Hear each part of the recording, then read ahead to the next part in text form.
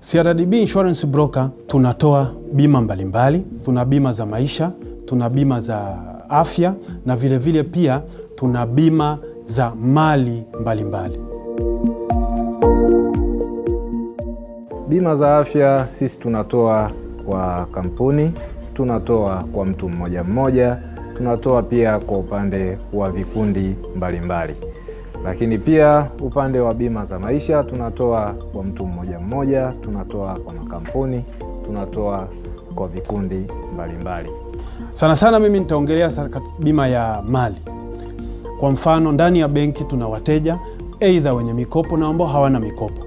Hatungependa janga limpate mteja wetu au ambaye pia sio mteja wetu, ni Mtanzania kwa ujumla, akapata janga, mathalan kama ni jengo lake amejenga, alitumia gharama kubwa katika kuinvesti akajenga, mathalan ni kampuni, inapotokea janga anarudishwa nyuma, labda kimtaji au kwa zile fedha zake alizowekeza.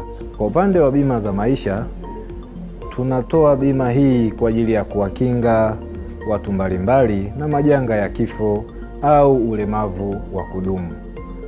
Pale ukipata ulemavu wa kudumu, basi kampuni ya insurance inakulipa kiasi ambacho ulikuwa umekikatia bima ili uendelee kuishi maisha yako kama kawaida.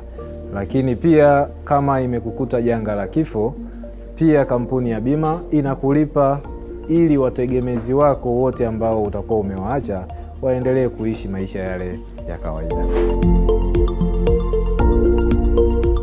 Sisi kama CRDB tunamsikiliza mteja kulingana na mahitaji yake, tunamchagulia mteja kampuni ya kushirikiana au kubeba lile janga alilonalo. Kwenye soko letu tuna kampuni nyingi sana za bima. Sasa sisi kama CRDB Insurance Broker tunawaelewa hao wote. Kwa hiyo kulingana na uhitaji wa mteja, iwe ni mtu mmoja au iwe ni kampuni, tutamshauri ni kampuni ipi ya kwenda.